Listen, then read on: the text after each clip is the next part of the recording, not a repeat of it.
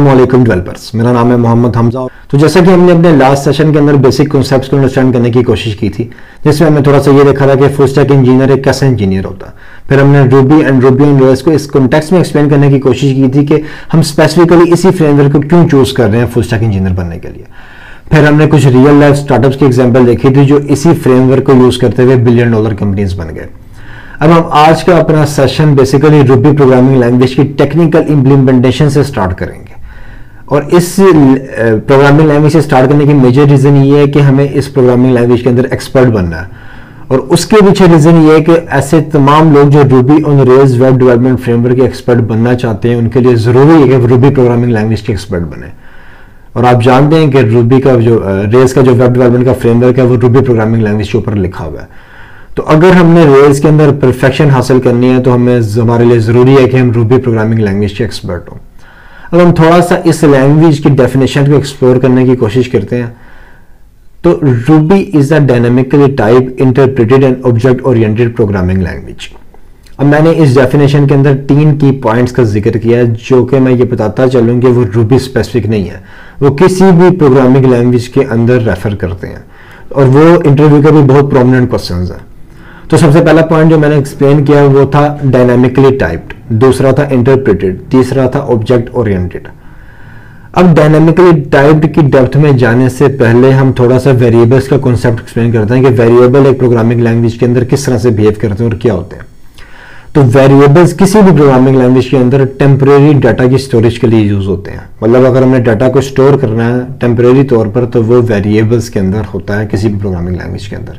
अगर मैं इसकी एग्जांपल दूँ कि मैंने अपनी एज को किसी प्रोग्राम के अंदर स्टोर करना मैं एक प्रोग्राम लिख रहा हूँ मैं चाहता हूँ कि मेरी एज किसी वेरिएबल के अंदर स्टोर हो जाए तो मैं डिफाइन करूँगा age is equal to for example twenty अब ये वेरिएबल ये डिफाइन कर रहा है कि मेरी एज कितनी है। और इस वेरिएबल की कोई ना कोई डाटा टाइप है। क्योंकि हमारे पास डिफरेंट तरह का डाटा होता है। फॉर एग्जांपल मेरी एज है मेरा नाम है, मेरी डिफरेंट तरह की प्रॉपर्टीज़ हैं। तो हर प्रॉपर्टी एक डिफरेंट डाटा टाइप की है। फॉर एग्ज़ाम्पल कोई इंटीजर टाइप की है, कोई स्ट्रिंग टाइप की है। इसी तरह वेरिएबल्स की डिफरेंट डाटा टाइप्स होती हैं। जैसे कि हमने जो एग्ज़ाम्पल दी, उस कॉन्टेक्स्ट में वेरिएबल डाटा टाइप इंटीजर थी। वेरिएबल्स की डिफरेंट डाटा टाइप्स कौन कौन सी हैं? स्ट्रिंग है फ्लोट है डेसिमल है बुलियन है हैश है रे है, और भी बहुत सारी हैं। तो हम with the passage of time इन सारे के सारे डाटा टाइप्स को इन डेप्थ एक्सप्लेन करेंगे, लेकिन इन जनरल इस इस कॉन्टेक्स्ट में आपको इस चीज़ की क्लैरिफिकेशन होना ज़रूरी है कि वेरिएबल्स किस लिए यूज़ होते हैं। वेरिएबल्स टेम्परेरी डाटा की स्टोरेज के लिए यूज़ होते हैं, और हर वेरिएबल की डाटा टाइप होती है। अब हम अपने मेन कॉन्टेक्स्ट की तरफ़ मूव करते हैं, जो कि था डायनामिकली टाइप्ड डायनेमिकली टाइप्ड ऐसी लैंग्वेजेस होती हैं कि उनके अंदर प्रोग्राम लिखते वक्त हमें नहीं बताना पड़ता कि इस वेरिएबल की डाटा टाइप कौन सी है। फॉर एग्ज़ाम्पल जब मैं रूबी का प्रोग्राम लिखूँगा और मैं एक वेरिएबल डिक्लेयर करूँगा कि age is equal to twenty seven तो मैं उससे पहले नहीं बताऊँगा कि ये वेरिएबल इंटीजर टाइप का है स्ट्रिंग टाइप का या किस टाइप का है।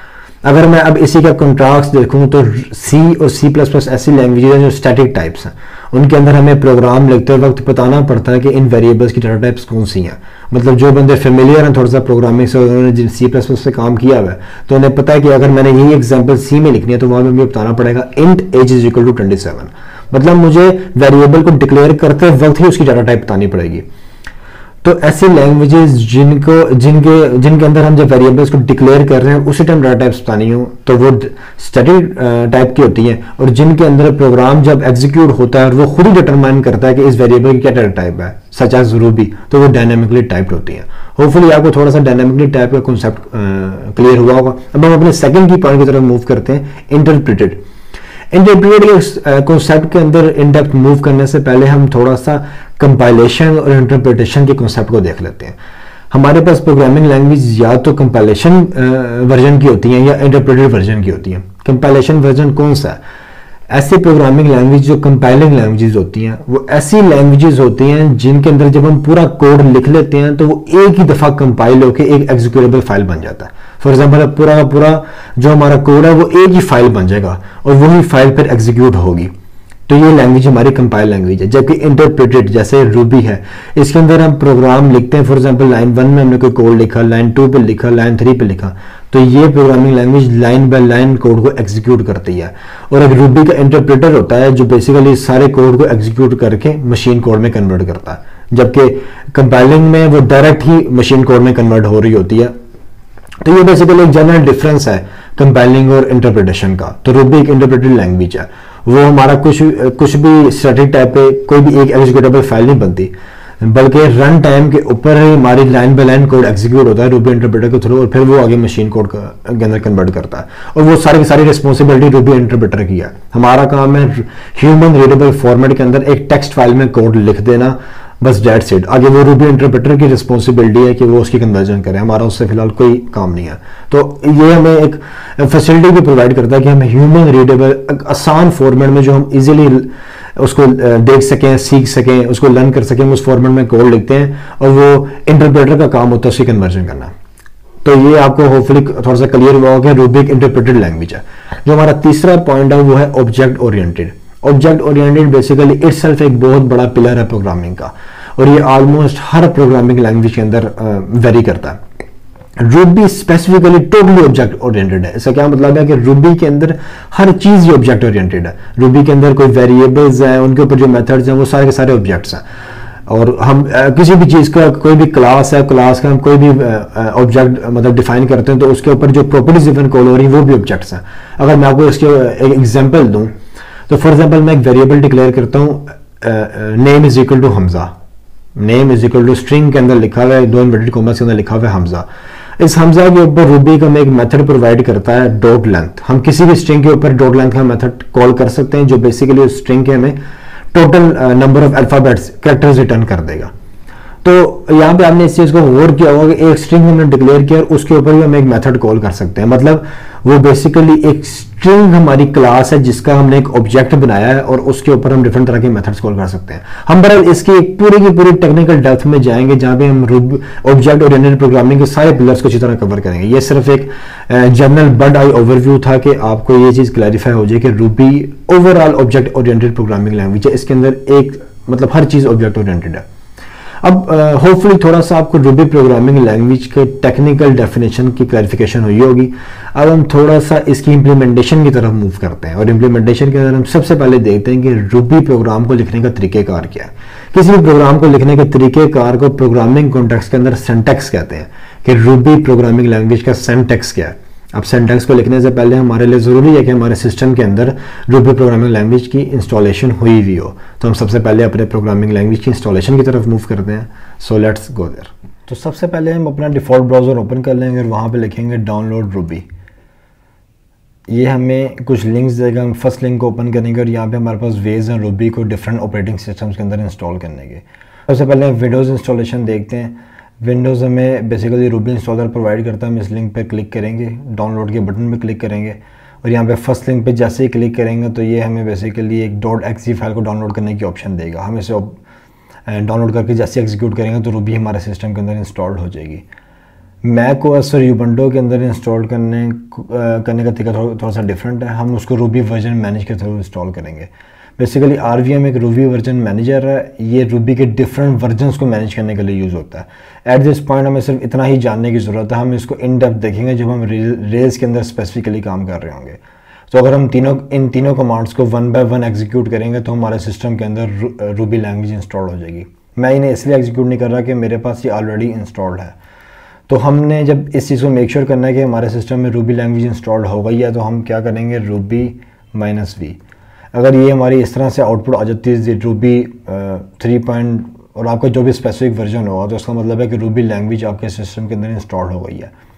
अच्छा आपने इस चीज़ से घबराना नहीं है कि अगर हमारा वर्जन 3.2.2 है, या 2.1 है, या कोई भी वर्जन है, हम बेसिकली जो रूबी का कोर्स कवर अप करेंगे, वो रूबी के किसी भी लैंग्वेज के ऊपर सपोर्ट होगा। तो ये इन जनरल एक कोर्स होगा जो कि बेसिकली रूबी लैंग्वेज का हमें एक्सपर्ट बनाएगा और इसके सारे के सारे बेसिक जो कॉन्सेप्ट हैं, उनको टोटल क्लियर अप कर देगा। तो ये मैटर नहीं करता कि हम रूबी के किस वर्जन पे काम कर रहे हैं for now at this point हमारे पास रूबी लैंग्वेज हमारे सिस्टम के अंदर इंस्टॉल हो चुकी है. अब हमारा नेक्स्ट स्टेप है कि हमने रूबी के प्रोग्राम को लिखना है. रूबी के प्रोग्राम को लिखने का क्या तरीक़ेकार है? हम सबसे पहले एक एडिटर ओपन कर लेंगे. मैं विजुअल स्टूडियो कोड यूज़ कर रहा हूँ. आप कोई भी यूज़ कर सकते हैं. एटम होता है सबलाइम टेक्स्ट है. सबसे पहले हम एक सिंपल टेक्स्ट फ़ाइल क्रिएट कर लेंगे और इसको रूबी की फ़ाइल जब भी हमने क्रिएट करनी है तो आपने याद रखना है कि रूबी की फ़ाइल की एक्सटेंशन हमेशा डॉट आर होती है। ऐसी तमाम फ़ाइल जिनके अंदर रूबी का कोड लिखा हुआ है, उनकी एक्सटेंशन डॉट आर बी होगा ये dot R B extension basically system को ये बताती है कि ये प्रोग्राम जो है, ये रूबी प्रोग्राम है। तो सबसे पहले हम इसको अपने कोर्स की डायरेक्टरी में सेव कर लेते हैं। आप इसको कहीं भी सेव कर सकते हैं। हम इसका नाम रख लेते हैं लेक्चर टू प्रिंट स्टेटमेंट्स मैंने इसका नाम प्रिंट स्टेटमेंट्स क्यों रखा है? बेसिकली आज के लेक्चर के अंदर यही कवर अप करना है कि रूबी के अंदर बेसिकली एक स्टेटमेंट को प्रिंट कराने के कितने वेज हैं और क्या उनके अंदर क्या डिफरेंसेस हैं।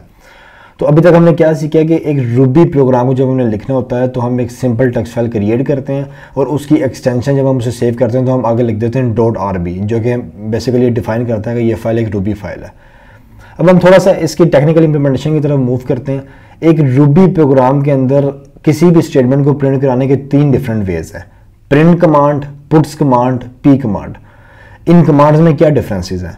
पुट्स और print command relatively very similar हैं। सिर्फ़ इन, इनके अंदर एक ही मेजर डिफरेंस और वो ये है कि जब हम पुट्स कमांड के थ्रू कोई भी स्टेटमेंट प्रिंट कराते हैं तो वो हमेशा उस स्टेटमेंट के एंड पे नेक्स्ट लाइन को पेंड कर देता है। जबकि प्रिंट स्टेटमेंट नेक्स्ट लाइन को पेंड नहीं करता। फॉर एग्ज़ाम्पल मैं कहता हूँ print first line of code. और मैं दोबारा लिखता हूँ, print second line of code. अच्छा ये हमने दो कमांड्स लिख ली हैं अपने रूबी प्रोग्राम के अंदर। Print first line of code, print second line of code. अब यहाँ पे मैं एक चीज़ पता चलूँ कि रूबी के बेसिकली प्रोग्राम को एग्जीक्यूट करने का क्या तरीके होता है। हमने सबसे पहले उस डायरेक्टरी में चले जाना है। मैं ऑलरेडी उस डायरेक्टरी में हूँ। आप लोगों ने उस डायरेक्टरी में मूव कर देना जहाँ पे आपने फ़ाइल को स्टोर किया हुआ है। आपने लिखना है रूबी आगे फ़ाइल का नाम। लेक्चर टू हमारी फ़ाइल का नाम था प्रिंट स्टेटमेंट डॉट जैसे मैं एंटर करूँगा तो ये जो भी मेरा प्रोग्राम के अंदर बेसिकली कोड होगा उसको एग्जीक्यूट कर देगा। मेरे कोड के अंदर दो प्रिंट स्टेटमेंट थी तो उसने इन्हें एग्जीक्यूट कर दिया आपने यहाँ पे देखा कि इसने first line of code print किया और उसके फ़ौरन बाद ही सेकंड लाइन ऑफ़ कोड को प्रिंट कर दिया। मतलब इसने नेक्स्ट लाइन को पेंड नहीं किया। अगर यही चीज़ हम पुट्स के थ्रू करें तो पुट्स क्या करेगा कि हमारे कोड के, हमारी फ़र्स्ट लाइन की एग्जीक्यूशन के बाद जब नेक्स्ट पुट स्टेटमेंट कॉल होगी तो ये ऑटोमेटिकली न्यू लाइन को पेंड कर देगा। फॉर एग्जांपल मैं यहाँ पे कहता हूँ तो ये देखें आप। सबसे पहले फ़र्स्ट लाइन ऑफ़ कोड जो प्रिंट स्टेटमेंट है वो एग्जीक्यूट फिर दूसरी प्रिंट स्टेटमेंट ऑफ़ एग्जीक्यूट इसके बाद उसने नेक्स्ट लाइन को पेंड नहीं किया। मतलब ये जहाँ पे पहले हमारा फ़र्स्ट स्टेटमेंट की प्रिंटिंग खत्म हुई, उसने वहाँ से दूसरी को शुरू कर दिया। अब जब हम और इसके बाद भी नेक्स्ट लाइन अपेंड नहीं हुई, क्योंकि सेकंड भी प्रिंट स्टेटमेंट है तो नेक्स्ट लाइन अपेंड हुई। जब हमने थर्ड स्टेटमेंट लिखी, जो कि पुट्स कमांड के थ्रू लिखी तो उसने उसके बाद नेक्स्ट लाइन को अपेंड कर दिया। और यहाँ पे जब हमने फोर्थ देखी तो इसके बाद भी नेक्स्ट लाइन अपेंड होगी, जब इसके बाद हम कोई और पुट स्टेटमेंट करते हैं तो अभी एट दिस पॉइंट हमने बेसिकली क्या चीज़ सीखी है कि रूबी के प्रोग्राम के अंदर स्टेटमेंट्स को प्रिंट कराने के तीन डिफरेंट वेज हैं। प्रिंट है पुट्स है, और आखिरी जो पी है, उसको हम थोड़ी देर तक एक्सप्लेन करते हैं। पुट्स और प्रिंट में क्या डिफरेंस है? पुट्स जैसे ही स्टेटमेंट को प्रिंट करेगा, उसके बाद नेक्स्ट लाइन को पेंड कर देगा।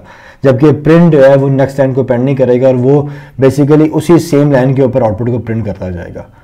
जो हमारी लास्ट कमांड है, वो पी कमांड है। पी कमांड बेसिकली क्या है? अगर मैं लिखूं पुट्स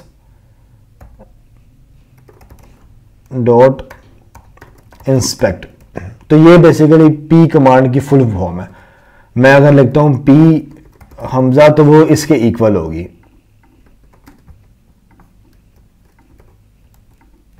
बेसिकली ये।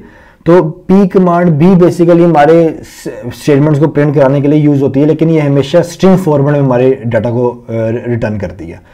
इन शॉर्ट इंस्पेक्ट जो है वो स्पेसिफिकली रूबी का मेथड है, जो बेसिकली डिबगिंग पर्पज़ के लिए यूज़ होता है। जब हमने देखना हो कि हम रूबी प्रोग्राम की किसी स्पेसिफिक लाइन के ऊपर क्या हो रहा है, यहाँ पे क्या फॉर एग्जांपल डाटा पास हो रहा है, क्या डाटा पास हो रहा है तो तब हम पी कमांड को यूज़ करते हैं, जो बेसिकली हमें उस स्पेसिफिक लाइन का, उस ऑब्जेक्ट का स्ट्रिंग फॉर्मेट रिटर्न करती है और हम वहाँ पे इंस्पेक्ट कर सकते हैं हम डाटा को कि डाटा किस फॉर्म का है। तो बेसिकली ये हमें डिबगिंग पर्पसेस के लिए हेल्प आउट करता है। डिबगिंग एक जनरल कॉन्सेप्ट है अपने कोड के बिहेवियर को देखने का, कि वो स्पेसिफिक पॉइंट ऑफ़ टाइम के अंदर किस तरह से बिहेव कर रहा है, वहाँ पे किस तरह का डाटा है, क्या डाटा टाइप्स है। तो अभी तक हमने तीन चीज़ों को सीख लिया है कि print statement put statement P statement ये तीनों के तीनों स्टेटमेंट्स बेसिकली कोड को प्रिंट करने के लिए ही यूज़ होती है। हमारे स्टेटमेंट्स को प्रिंट करने के लिए यूज़ है, लेकिन तीनों का फॉर्मेट डिफरेंट है। प्रिंट स्टेटमेंट नेक्स्ट लाइन को अपेंड नहीं करती और एक ही लाइन के ऊपर प्रिंटिंग करती रहती है। जबकि पुट स्टेटमेंट हर स्टेटमेंट के बाद मतलब नेक्स्ट पुट स्टेटमेंट के कॉल होने से पहले नेक्स्ट लाइन को अपेंड करेगी। और पी कमांड क्या करती है? P command basically short form है। पुट्स ऑब्जेक्ट डॉट इंस्पेक्ट और इंस्पेक्ट किस लिए होता है? बेसिकली डिबगिंग पर्पज के लिए। अब मैं अगर यहाँ पे लिखूँ, इसको मैं four line for example comment करता हूँ और मैं इस लाइन को चाहता हूँ पी तो ये मुझे बेसिकली सेम चीज़ रिटर्न कर देगी। उसने मुझे स्ट्रिंग फॉर्मेट रिटर्न कर दिया बेसिकली मेरे ऑब्जेक्ट का।